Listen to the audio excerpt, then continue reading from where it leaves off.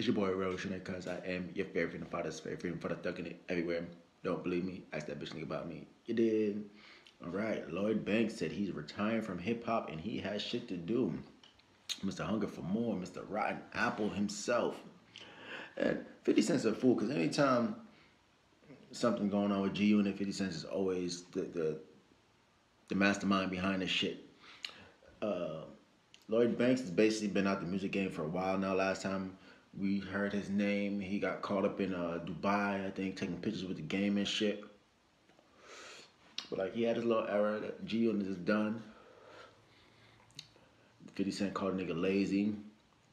Like 50 Cent's be poking poking the stick at everybody, man. Yeah, yo, Banks. Kidd Kidd's no longer with G Unit. Crazy shit. But yeah, man. Wish you the best, my nigga. You will probably still be a uh, product of G Unit forever. Don't forget to subscribe, like, share, comment, follow me on Instagram, Revolutionary Cuz, like the Facebook fan page, The Revolutionary Cuz Show. Until next time, I smoke for your boy, Chibbles.